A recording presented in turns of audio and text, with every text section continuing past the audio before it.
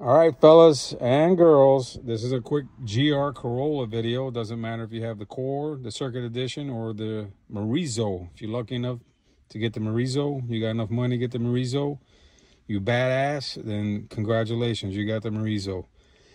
So I have OCD, not uh, OCD in this instance, but OCS, Obsessive Compulsive for Sound.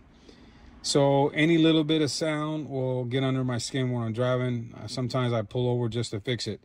So in this incident, we have a sound that's emitting from the seatbelt buckle hitting the side of the post.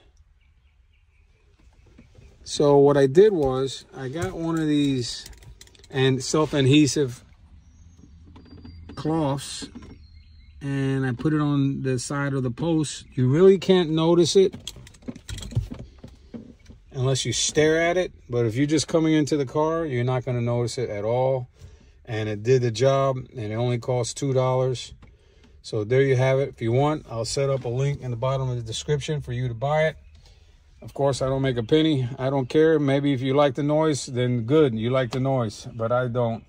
So there you have it take it easy. If you have any questions or concern, which I can't see why you would, uh, leave the comment on the bottom there and uh, I'll get back to you as soon as possible. Don't forget the like and subscribe button because it helps all of us here. Take care. Take it easy. Thank you.